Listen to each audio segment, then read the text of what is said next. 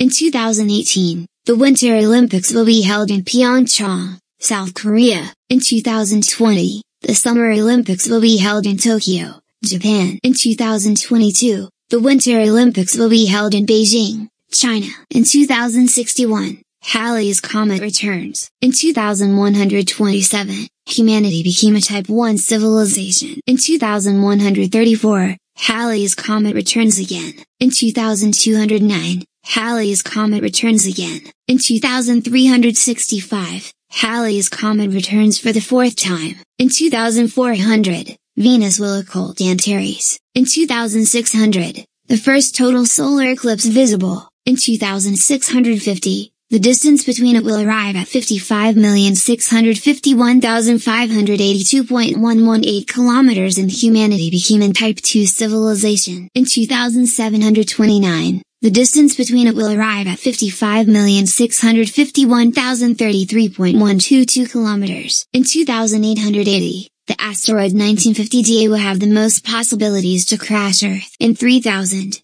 lifespans are over 120 years. In 3005, humanity becomes a Type 3 civilization. In 4000, the next ice age begins. In 5000, Mars has terraformed. In 7000, Venus has also terraformed. In 9950, humanity becomes in Type 4 civilization. In 10,000, 90,000 year ice age begins. In 20,000, humanity became in Type 5 civilization. In 50,000, humanity became in Type 6 civilization. In 70,000, humanity became in Type 7 civilization. In 100,000, human lives are descending. In 250,000, Earth's magnetic poles has been reversed. In 500,000, humanity became in Type 8 civilization. In 1 million, humanity became in Type 9 civilization. In 50 million, Africa collides with Europe. In 150 million, the Atlantic Ocean starts to shrink. In 200 million, humanity has become in Type 10 civilization. In 250 million,